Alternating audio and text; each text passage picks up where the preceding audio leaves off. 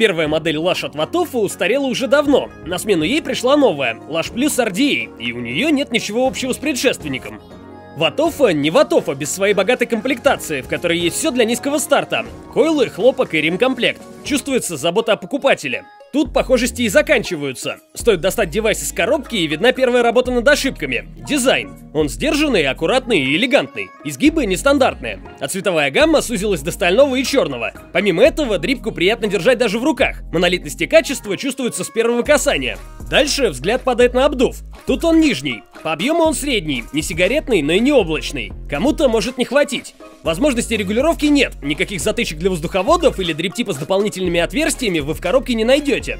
Когда же наступает час поставить билд, Lush Plus удивляет во второй раз. Здесь используются видоизмененные раздвоенные velocity стойки, у которых внутренние части выше внешних. Выглядит чудно, а на деле удобно. Все винты закручиваются сверху. Теперь не нужно вертеть дрипку из стороны в сторону при установке намотки. Третий раз Lush удивляет с первой затяжки. Вкусом. Нет, он не стал классным, но заметна работа в этом направлении. По сравнению с предыдущими девайсами компании, заметно движение в лучшую сторону, что не может не радовать. На низких намотках же девайс становится не самым приветливым питомцем. Делриновый дриптип начинает греться, а за ним сильно нагревается и металлический кэп. Дриптип очень похож на 810 формат, но нет, использовать с другими дрипками вы его не сможете.